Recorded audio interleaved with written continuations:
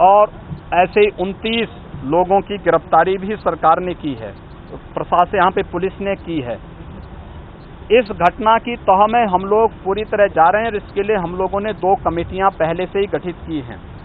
एक राजस्व से संबंधित वाद 1955, उन्नीस सौ नवासी 2017 इन तीनों प्रकरण में कहाँ कहाँ पे फाल्ट किसके स्तर पर हुई है? इसके लिए अपर मुख्य सचिव राजस्व की अध्यक्षता में एक कमेटी गठित की गई है। साथ साथ यहाँ पर पुलिस के स्तर पर कहाँ पे खामी रही हुई कि स्वाभाविक रूप से पुलिस को सूचना दिए जाने के बावजूद फिर भी यहाँ पर इतनी बड़ी घटना घटित हुई। इसके लिए अपर महानिदेशक पुलिस वाराणसी जोन की को इस बात की जाँच दी गई है कि अगर पहले से सूचना थी तो फिर इस पर कोई इस प्रकार की निरोधात्मक कार्रवाई क्यों नहीं की गई? कि घटना को रोका जा सकता था। प्रारंभिक उसमें हल्के जो बीट का सिपाही, हल्के का दरोगा, इंस्पेक्टर, डिप्टी एसपी और तहसील के एसडीएम की भूमिका जो सामने आई थी, उनके खिलाफ कार्रवाई की जा चुकी है। लेकिन अभी इसकी तह में भी बहुत सारे ऐसे नाम हैं, जिनकी जो राजनीतिक पृष्ठभूमि से जुड़े हुए थे और जिन्होंने लगातार आज़ादी के बाद, यानी उन्नीस सौ पचपन के बाद से लेकर के इस प्रकार की घटनाओं की एक न्यू डाली थी। इसकी तह में जाने की आवश्यकता है और मुझे लगता है कि ये केवल यहीं पे नहीं, बल्कि पूरे सोनभद्र जनपद में ऐसे बहुत सारे प्रकरण हमारे संज्ञान में आए हैं जिसपे हमारी सरकार कार्य कर रही है।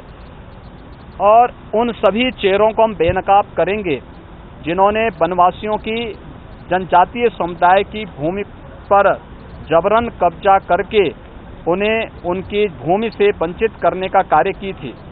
हमारी सरकार ने भारत नेपाल की तराई की बॉर्डर जो हमारा बॉर्डर है वहाँ से जुड़े हुए लगभग 34 गाँवों में समस्या का समाधान विगत दो वर्ष में किया।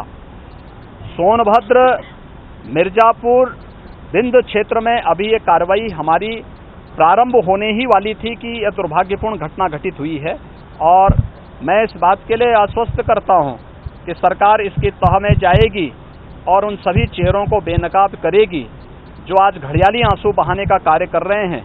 लेकिन इसकी पूरी पृष्ठभूमि उन लोगों ने रची थी, उन लोगों ने के समय में कब कब क्या घटनाएँ घटित हुई थी, यह दूध का दूध और पानी का पानी सबके सामने आएगा और इसको लाने के लिए हम लोग पूरी तरह प्रतिबद्ध हैं, कर मैंने दस दिन के अंदर राजस्व की कमेटी गठित कर दी, दस दिन के अंदर उनसे पूरी रिपोर्ट मांगी है। कागजात सारे लगभग एकत्र हो रहे हैं और उस पर कार्रवाई चल रही है। और उम्बा और मूर्तिया गाँव एक ही नहीं यहाँ पे दर्जनों ऐसे गाँवों में इस प्रकार के प्रकरण सामने आए हैं। और इस इसमें इस मामले में हम लोग एक तो कार्रवाई इसको बढ़ा रहे हैं। दूसरा आने वाले समय में इस प्रकार की घटनाओं की पुनरावृत्ति को रोका जा सके। इस पर भी प्रभावी कार्रवाई करने की तैयारी देखिए देखिए मैं हाँ। उन्नीस सौ पचपन में शुरू हुआ उन्नीस सौ नवासी में उन्होंने रजिस्ट्री की थी अपनी बेटी के नाम की उसके बाद में 2017 में इसका दाखिल उसका रजिस्ट्री होता है।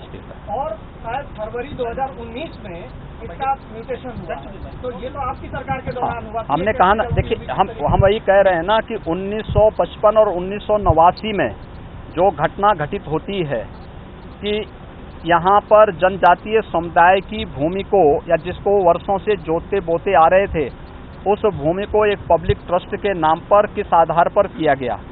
दूसरा पब्लिक ट्रस्ट की भूमि कुछ लोगों के नाम पर कैसे हो गई है? और फिर कुछ लोगों के नाम की भूमि ट्रांसफ़र होकर के रजिस्ट्री भी हो जाती है। ये कैसे होती है? इन सभी के प्रकरण के लिए हमने अपर मुख्य सचिव राजस्व की अध्यक्षता में एक कमेटी गठित की है और 10 दिन के अंदर उनसे रिपोर्ट मांगी है। 10 दिन के अंदर इस पर प्रभावी कार्रवाई भी देखने को मिलेगी। सवाल ये है कि पाप तो उन्हीं का है इस पाप के लिए वे जिम्मेदार हैं और इस पाप की सजा के लिए भी उनको तैयार रहना चाहिए।